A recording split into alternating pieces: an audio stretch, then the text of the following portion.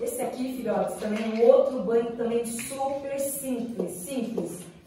Mas aí fala assim, ai, olha, você vem aqui que eu vou fazer um banho de energia sexual para você que vai ser ótimo, tá?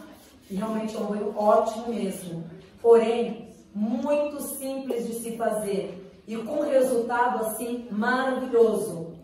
Aqueles que têm é, impotência sexual, né, dificuldade sexual, é, é um banho assim muito, mas muito bom. Se você conseguir tomar principalmente por três segundas-feiras seguidas ou por sete segundas-feiras seguidas, vai ajudar muito a ativar o lado sexual, principalmente a ereção certa, né? Então esse banho é muito bom. Onde a gente vai usar, usar as canelas, né? Ó, usar uma, uma canela, duas, tanto para mulher quanto para homem, tá? Dois, três, quatro, cinco, seis, sete, oito, tá? O manjericão a mesma coisa, a gente vai macerar.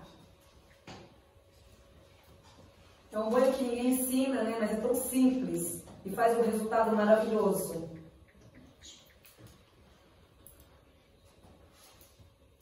Vocês vão macerar. Ó. Então, para que serve? Para ativar o lado sexual. Então, vai fazer por fazer? Não. Já vai pedindo.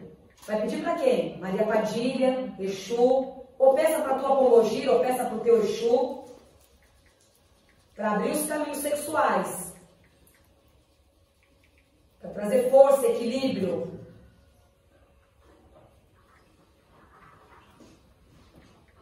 Mesmo processo. Deixa de molho, de um dia para o outro. No dia seguinte, coa.